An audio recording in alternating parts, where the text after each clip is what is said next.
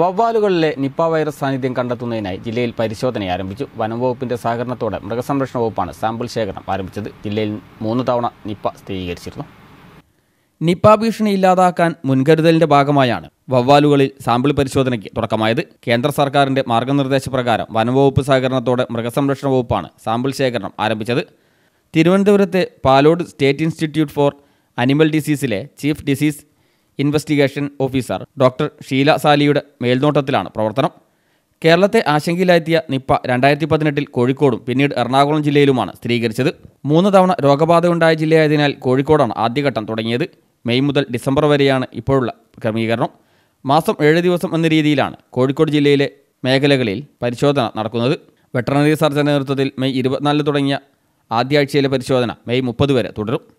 വവ്വാലുകളുടെ സാന്നിധ്യമാണ് ആദ്യം നിരീക്ഷിക്കുക. പിന്നീട് ജിയോമോപ്പിംഗ് നടത്തും. തുടർന്ന് സഞ്ചാരപഥവും മനസ്സിലാക്കിയ ശേഷമായിരിക്കും സാമ്പിൾ ശേഖരണം. ചത്ത വവ്വാലുകളെ കണ്ടെത്തുകയാണെങ്കിൽ അവയുടെയും സാമ്പിളുകളും ശേഖരിക്കും.